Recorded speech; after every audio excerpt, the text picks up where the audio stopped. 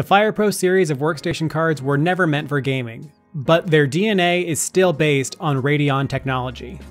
The main differentiator is that they've been tuned for workstation loads instead of gaming, which makes the comparisons between cards and gaming performance a little trickier.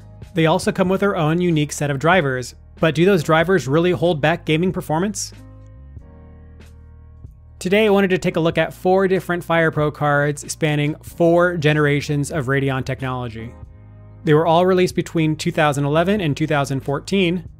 All of them have a TDP of 75 watts, but the V4900 is based on Terascale 2, the V5900 on Terascale 3, the W5000 on GCN 1.0, and the W5100 on GCN 2.0. Based on just this information, you could assume that performance would scale upwards from the 4900 up to the W5100, but that gets a little more unclear when we look at the performance numbers.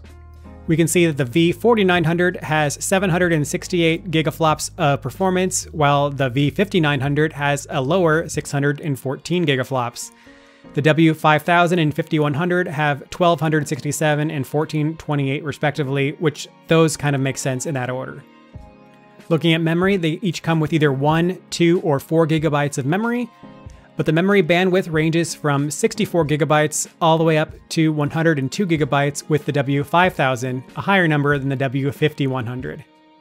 And as for DirectX supports, the V series cards support DirectX 11, the W5000 supports DirectX 12 officially, but only at the lowest version, and so newer games that require DirectX 12 will not be compatible, while the W5100 supports the full DirectX 12. We're going to be testing all these cards with the Amernime Zone Unified Radeon third-party drivers to see if we actually can unlock more performance by using gaming-centered drivers. One side effect of installing these new drivers is that the card now thinks it is a Radeon card, with its name changing to its Radeon equivalent. In this case, the V4900 becomes the HD 6670, the V5900 becomes an HD 6930, which it's cut down from, the W5000 becomes an R9 270X, which it's cut down from, and the W5100 becomes an R7 260X, interestingly lower than what the W5000 is cut down from. Will any of this change gaming? Let's go to the benchmarks. Starting off with 3DMark Firestrike, which is the only test that all of these cards can run, and we can see not much has changed in between the two driver versions. Looking at the custom drivers versus the stock drivers, and everything's within basically 1%, which is really more margin of error. So the fact that the custom drivers are leading in three of the four cards is not really noteworthy. What we can see is the gulf between the Terascale generation of cards and the GCN generation of cards is wide, but the same can't be said when comparing Terascale cards or GCN cards. Especially when looking at the V4900 versus the V5900, their scores are practically identical. Moving over to Temtem, and the same story pretty much plays out. At 1080p medium quality settings, the gulf between generations is large, and the gulf inside generations is very, very small this time with the W5000 and W5100 giving identical performance.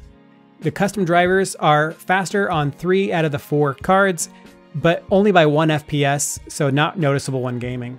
The V4900 is the only card to not get an uplift in this game, though more than likely this is a limitation of the 1GB of memory. Moving over to Rolled Out, and it's really an interesting situation here. Rolled Out really loves memory bandwidth, and so the W5000 with its slightly higher memory bandwidth outscores the W5100. Again, it's 1 FPS, nothing really to write home about, but it is interesting nonetheless. The V5900 and 4900 score identical performance, and the custom drivers don't seem to be making a difference in this game. Moving over to Overwatch, and at 1080p low, we are seeing some of the biggest differences we've seen between cards, though really nothing between the stock and custom drivers. Here we can see the W5100 getting the edge over the W5000 due to its higher core clock, and the V5900 is 13% faster than the V4900, which is the biggest difference we've seen. Control at 1080p low plays out pretty much just as we saw with Overwatch. The W5100 comes in first, the W5000 is a very close second, and the V series cards are a distant third and fourth, though again, the V5900 maintains a lead over the V4900. And none of the cards benefited from custom drivers. Dirt 3 was released around the same time as all these cards and expectedly runs pretty well even at 1080p Ultra.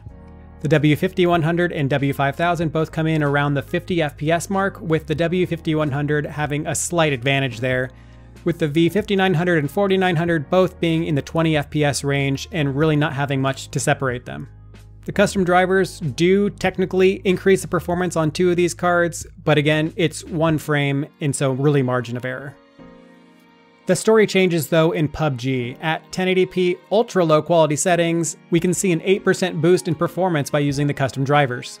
The newer GCN cards do see the biggest gain here, with the W5100 increasing from 65 to 72 FPS and the W5000 increasing from 61 to 66 FPS. The V5900 also sees a 6% increase from 31 to 33 FPS, though I'm not sure you would notice a 2 FPS difference. The V4900 seemingly has no gain from using the custom drivers, and I'm thinking this all comes down to the 1GB of memory limitation. That being said, PUBG is a pretty dynamic game, and so the workloads can vary between runs, so it's possible that the V4900 would also see a small gain. One game I was hoping to see a large increase in was Halo Infinite, and it definitely delivered there. At 768p on the low quality settings, we went from 17 FPS on the W5100 up to 33 FPS with the custom drivers, at almost 100% increase. This takes the game from completely unplayable to actually rather enjoyable, which is a great performance boost for the low cost of free.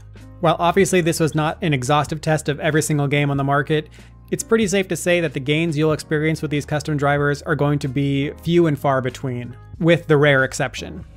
A bigger performance increase can be achieved through overclocking, though the W5100 and V5900 both are at lockdown at the BIOS level, that does mean, though, that we can overclock the W5000 and the V4900 and see if we can achieve the same level of performance that the bigger brothers have.